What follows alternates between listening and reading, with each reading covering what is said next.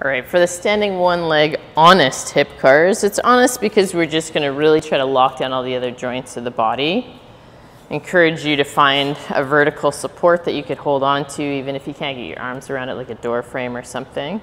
The leg that we're concentrating on, we're gonna drive the knee up as far as we can.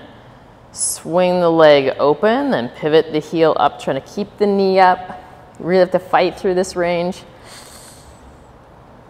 Good, good, good. And then we get all the way around to the back. Here's where you have to really work at keeping your ribs and pelvis aligned. I'm gonna show the side view of this so it's easier to understand. And then once you're around the back, come back over just like you've got a barrel or fence you're trying to get your leg over. And then it, bring it back around and down. And that's one rep. If I show you the side view, here, what's really important is that we're trying to control that connection between the ribs and the pelvis.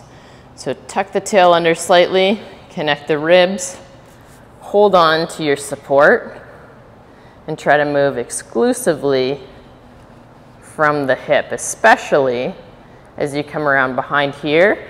We don't want to arch the back that way. That movement's not coming from the hip.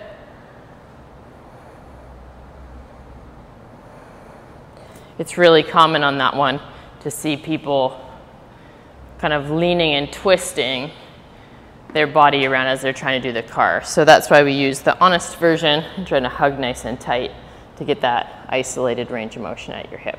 So give that a try at home or at the gym.